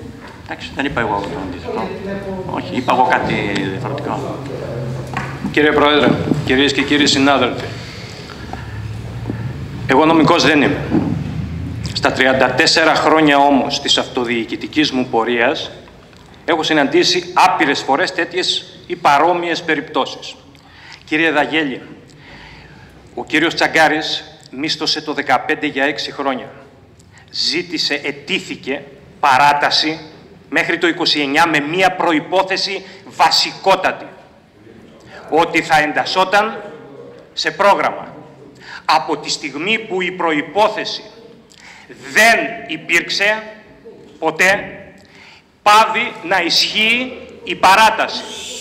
Κατ' εμέ τουλάχιστον. Και από όσα γνωρίζω. Ένα το κρατούμενο. Δεύτερο, διαβάσατε εκεί την θέση των τριών που πλειοψηφούν. Δεν μας διαβάσατε όμως το τι αναφέρουν οι δύο που μειοψηφούν. Όπου υπάρχει, υπάρχει μια ε, πολύ σαφής αιτίαση γιατί λένε όχι. Και το τρίτο και ιδιαιτέρως ενοχλητικό στην όλη υπόθεση. Η εταιρεία δια του κυρίου Τσαγκάρη και των υπολείπων αυτή τη στιγμή προχωράει μια διαδικασία για να επαναδημοπρατήσει το κατάστημα που βρίσκεται ακριβώς δίπλα. Χωρίς να μπαίνει στη λογική της παράτασης της μίσθωσης. Κάτι δηλαδή που ισχύει για το κατάστημα αυτό το οποίο, στο οποίο είναι εμπλεκόμενος ο κύριος Τσαγκάρης. Γιατί λοιπόν δύο μέτρα και δύο σταθμά; Λοιπόν, για το δεύτερο ερώτημα δεν γνωρίζω τι γίνεται. Ας απαντήσει καλύτερα ο κύριος Τσαγκάρης. Όσον αφορά για τα άλλα τα οποία τα έχω μελετήσει... Τι; Όχι, ε, να απαντήσω. Λοιπόν, όσον αφορά για, το, για τα πρώτα δύο θέματα τα οποία θέσατε, το 2019 ο κύριος Τσαγκάρης ζητήθηκε να παραταθεί η μίσθωση μέχρι το 2029. Πήρε την παράταση και η μίσθωση, μίσθωση θα ίσχυε μέχρι το 2029. Όσα λέτε εσείς, με την ιδιότητά σας ως δάσκαλος, μπορείτε να τα λέτε. Ως νομικός δεν τα σπάζομαι. Για την άποψη της μειοψηφίας, η άποψη της μειοψηφίας είχε μια δική της, ε, έβλεπε κάποιος, κάπως διαφορετικά το θέμα. Το θέμα είναι ότι το ΔΣ της ΑΔΕΛ πήρε κάποιες αποφάσεις και με αυτές τις αποφάσεις πορεύτηκαν. Μια ερώτηση προς τον κύριο Δήμαρχο. Εντάξει, ωραίες φωτοβολίδες, πρωτουλάμψεις, ωραία. Επί του υποκρίση Τον ωραία, θέματος. το Δήμαρχο το δεν και όνομα του Θεού. Δεν υπάρχει. Δεν προβλέπεται πού. Κύριε Στο Πρόεδρε, επόμενο εσείς απολογηθούν. δεν διευθύνετε τη συζήτηση. Εντάξει, το- ναι, ευχαριστώ. Ακούστε να δείτε, ακούστε να δείτε. Αν μου επιτρέψετε να, κα- να γιατί σας το ανέφερα και πριν, να αναφέρω το υπαριθμό πρωτοκόλλου Λοιπόν. 8182. Ωραία, αυτό μπορεί να- 26 πρώτου εγκύκλου είναι υπό το υποκρίση θέμα. Είναι ένα πολύ σύντομο ερώτημα προς τον κύριο Δήμαρχο. Αφορά το ίδιο σκέλος του υποκρίση θέματος. Δεν μπορείτε να... Πρόεδρε, συγγνώμη, μια διαδικασία, σε παρακαλώ, έχουμε φύγει εκτός ορίων. Έλεος πια δηλαδή, με συγχωρείτε. Κύριε- κύριε είναι Πρόεδρε, δυνατόν λογοδοσία. Κύριε Πρόεδρε, Συγκεκριμένα θέματα τίθονται, είναι το, πήραν συγκεκ- το λόγο, για δεν το τα παρέχουν. συγκεκριμένο θέμα θεωρ- Μάλιστα, μάλιστα. Οπότε για το συγκεκριμένο θέμα θεωρείτε ότι έχει ολοκληρωθεί εσείς και δεν μου δίνετε το λόγο να εκφέρω το ερώτημά μου. Λοιπόν, Α, έχουν για το απαντήσει, ζήτημα που νομίζω. αφορά για το δεύτερο ζήτημα που έθεσε εδώ στο θέμα αυτό, καθώς και λεπτομέρειες αναφορικά με τη χρηστή διοίκηση εταιρείας από το Διοικητικό Συμβούλιο. Μα, ε, μα τι έχει. Τι δουλειά έχει ο Διαβάζοντας Δήμαρχος; και τους σκοπούς της ΑΔΕΛ, μιλά, Κύριε Τζιμί. μιλάω για το υποκρίση θέμα. Το θέμα το θέτω στο Δημοτικό εδώ Συμβούλιο. Θα μπορούσατε κύριε Τζιμί να κάνετε ερώτηση. 9 είχαμε, 10 δικαιού, 10 Δεν έχετε είναι καταλάβει κάθε τον ειδικού κανονισμό. απολογισμού. Δεν έχετε Τι καταλάβει να τον κάνουμε, κανονισμό. δεν προλάβατε να Αφορά κάνετε το ερώτηση. συγκεκριμένο θέμα. Την επόμενη Δικαιούμαι φορά. να την κάνω την ερώτηση. Λοιπόν. Αφορά το συγκεκριμένο θέμα.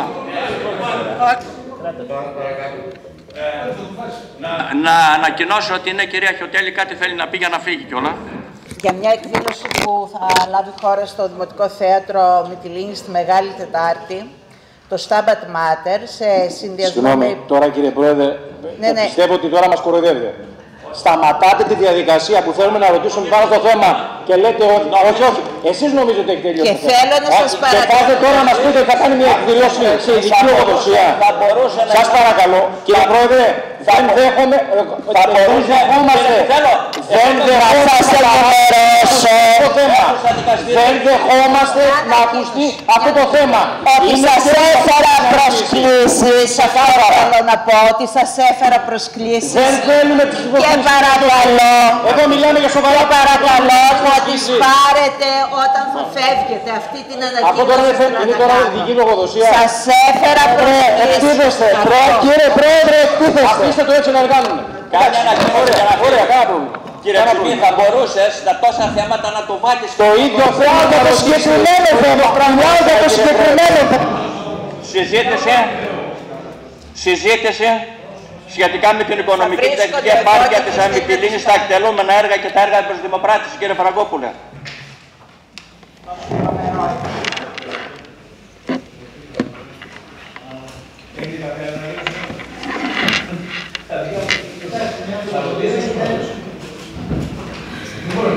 Πρώτη φορά συμβαίνει να, να δώσω προσκλήσεις και να ενοχλήσετε.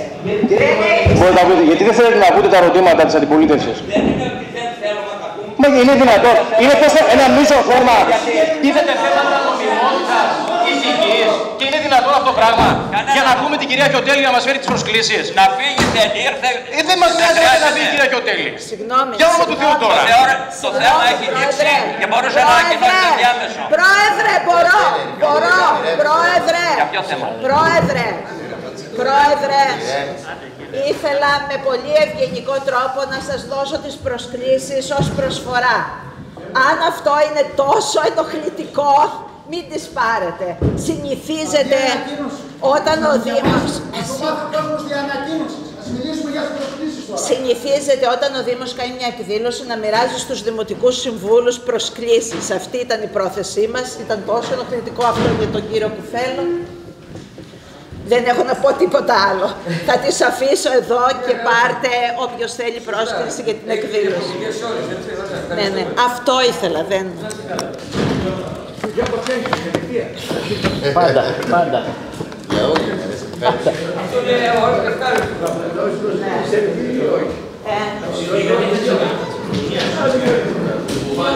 Να πάμε στα υπόλοιπα ερωτήματα.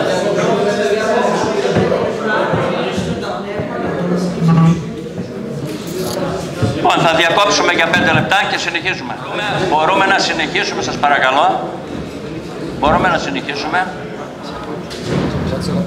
Ε, μόλις πριν λίγο ενημερώθηκα ότι η παράταξη του κυρίου Κουφέλου αποχώρησε. Άρα το επόμενο θέμα έχουμε συζήτηση σχετικά με την οικονομική και τεχνική επάρκεια της ανώνυμης εταιρείας Μυτιλίνη ΑΕ, τα εκτελούμενα έργα και τα έργα προς δημοπράτηση, με που θα ρώταει ο κύριος Φραγκόπουλος από μεταφέρεται, καθώς επίσης και διευκρινήσεις για τις ενέργειες που έγιναν από τον Πρόεδρο για την, τις απευθείας μεταδόσεις των Δημοτικών Συμβουλίων με ε, ερωτώντα τον κύριο Τζιμί α, μεταφέρεται. Αμέσως μετά είναι η ενημέρωση για τη μη λειτουργία των παιδικών κατασκηνώσεων στην Νεάπολη, Νεάπολη από την κυρία Τσεριγότη. Θα το βάλουμε σε μια άλλη αν επιμείνουν. Αφού λείπει ο συγκεκριτής, πώς θα γίνει τώρα. Αυτός θέλει να κάνει την ερώτηση. Κάντε νίκη. Νίκη. Πάμε κυρία Τσεριγότη. Σπατον, οι ερωτήσει έχουν κατατεθεί. Απλά καταλαβαίνω ότι απ' έξω είναι και άλλοι σύμβουλοι. Μήπως να τους καλέσουμε να μπουν μέσα, γιατί δεν είναι αυτό εικόνα Δημοτικού Συμβουλίου. Ε, ε, απλά επί της διαδικασίας, αν μας επιτρέπετε ένα σχόλιο, ε, προβλέπει η διαδικασία συζήτηση. Νέες ερωτήσεις προφανώς όχι. Συζήτηση όμως επί των θεμάτων προβλέπεται και καλό είναι να μην υπάρχει έτσι ένταση και να δυσανασχετούν οι δημοτικοί σύμβουλοι γιατί ενδεχομένως βιάζονται να τελειώσουν, αλλά υπάρχει το δικαίωμα να γίνει συζήτηση επί των θεμάτων που τίθενται. Ε, τώρα, ως προς το θέμα που έχουμε θέσει, ε, και έχουμε καταθέσει και εγγράφει στις νόμιμες προθεσμίες. Τα τελευταία χρόνια ακούμε ότι οι παιδικές κατασκηνώσεις στην Άπολη θα λειτουργήσουν κάθε ερχόμενη καλοκαιρινή περίοδο.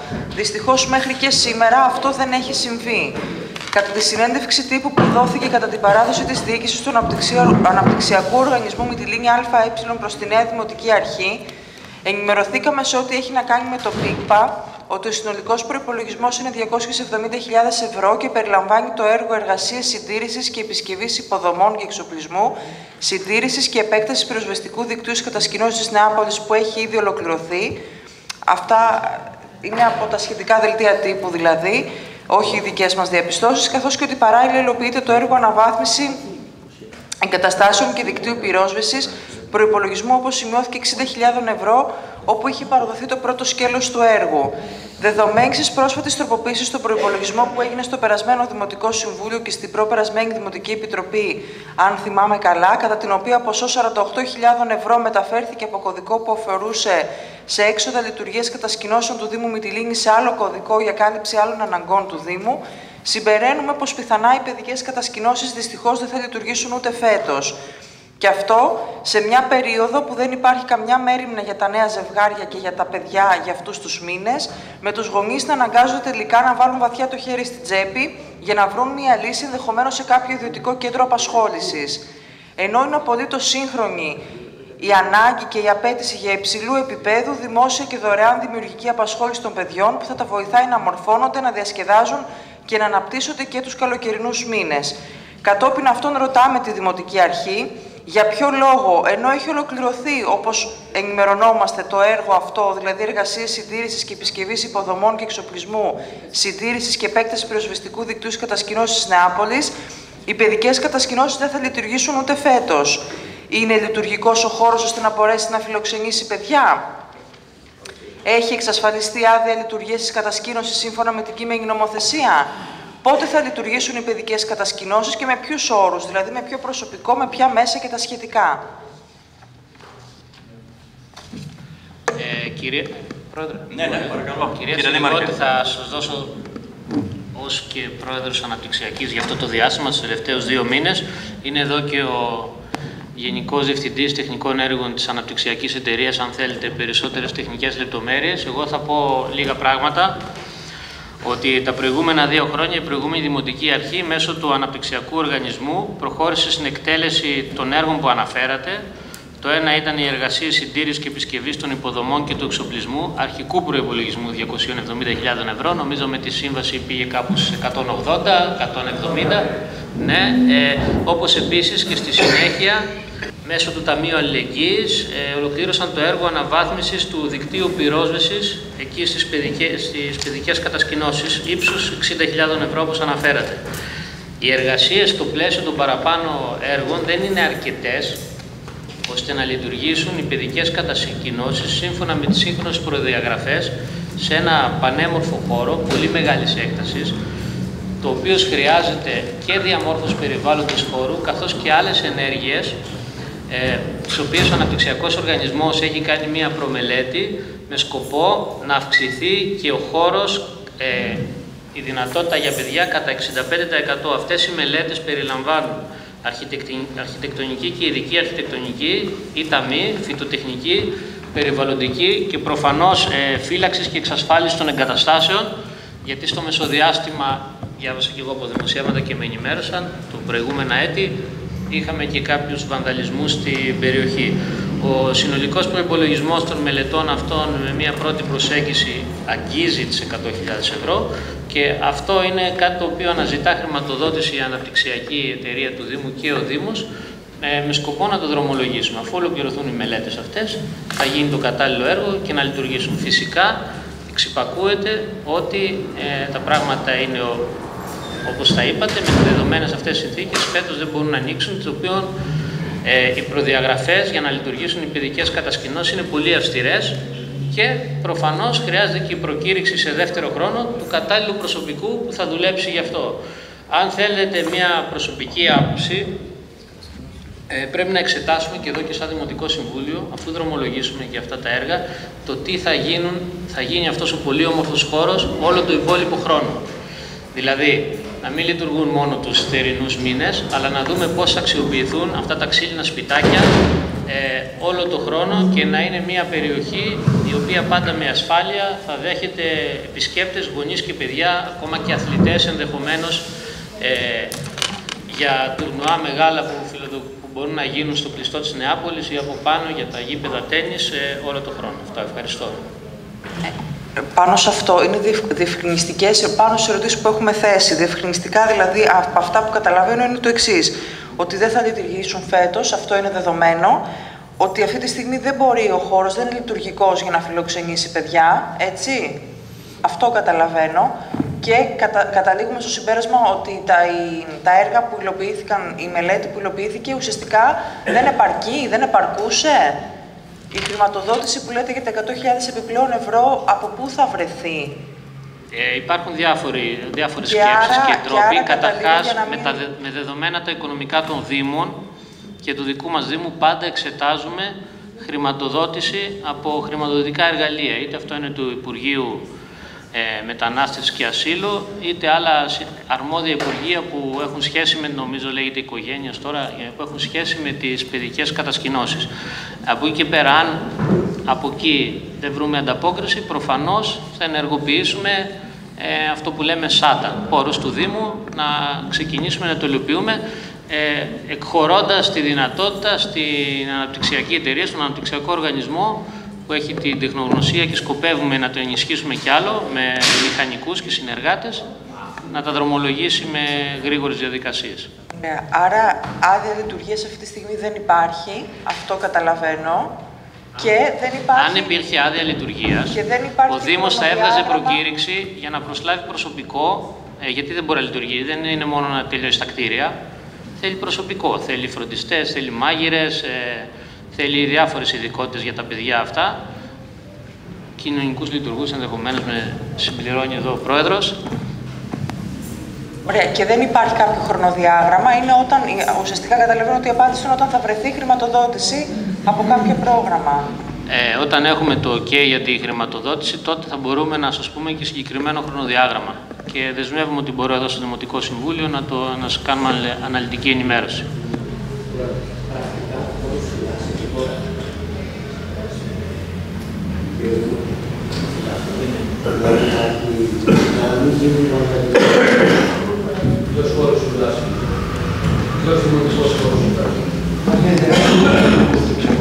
Από το προσωπικό που φυλάσσει αυτή τη στιγμή και το γήπεδο της Νεάπολης φυλάσσεται με αυτή την έννοια όπως φυλάσσονται οι χώροι μας επειδή γειτονεύει είναι από πάνω ακριβώς.